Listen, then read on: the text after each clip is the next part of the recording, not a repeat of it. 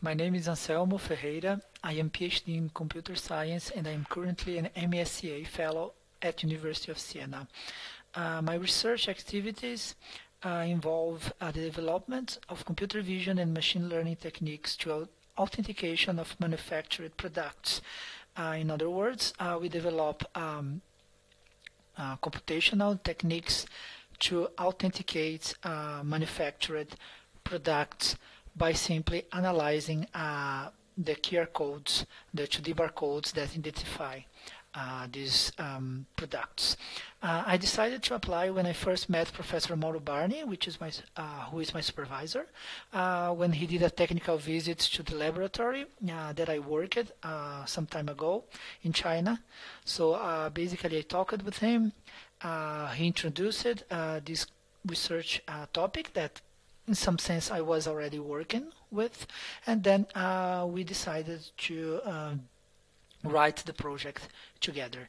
Uh, I decided to apply because uh, first of all I know the importance of the research, this specific research uh, for the future because of the status of the fellowship. Of course it is one of the most important fellowships of the world and also uh, because of the knowledge influence uh, and importance of the supervisor, of course, uh, which I truly believe that will push uh, my career to the top.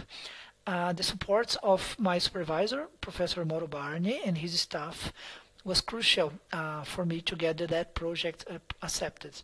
Professor Barni helped me with his experience and contacts, and his team helped me with other important aspects of the project, such as the career planning.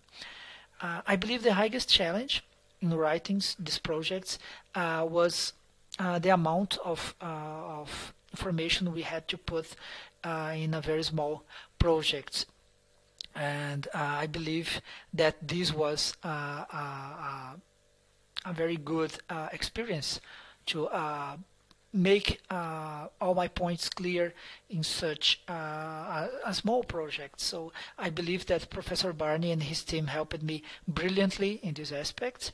Uh, what I most liked, of course, in writing the proposal with Professor Barni and his team was uh, the trust, the project uh, development tracking by Professor Mauro Barni and his team, and of course their dedication to write that project together with me.